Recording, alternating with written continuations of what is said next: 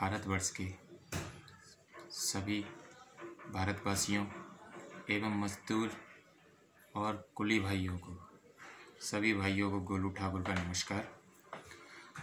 आज जिस तरह से देखा जा रहा है कि भारत में माननीय प्रधानमंत्री जी के आदेश अनुसार कोरोना वायरस से बचने के लिए एक दिन का कर्फ्यू किया गया है। इसमें माननीय प्रधानमंत्री जी चाहते हैं कि हमारा देश सुरक्षित रहे और किसी को कोई परेशानी ना हो।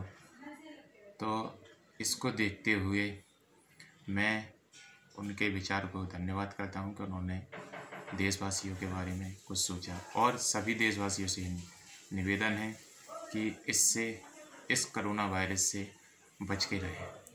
और अब आती है बारी हमारी हम माननीय प्रधानमंत्री जी से ये भी कहना चाहते हैं कि जिस तरह आपने दिहाड़ी मजदूर वाल, मजदूरी करने वाले लोगों के बारे में सोचा है कि उन्हें आपने ये कह दिया है कि उन्हें मंथली कुछ पैसे दिए जाएँगे, क्योंकि कोरोना वायरस के चलते काम नहीं हो रहा है।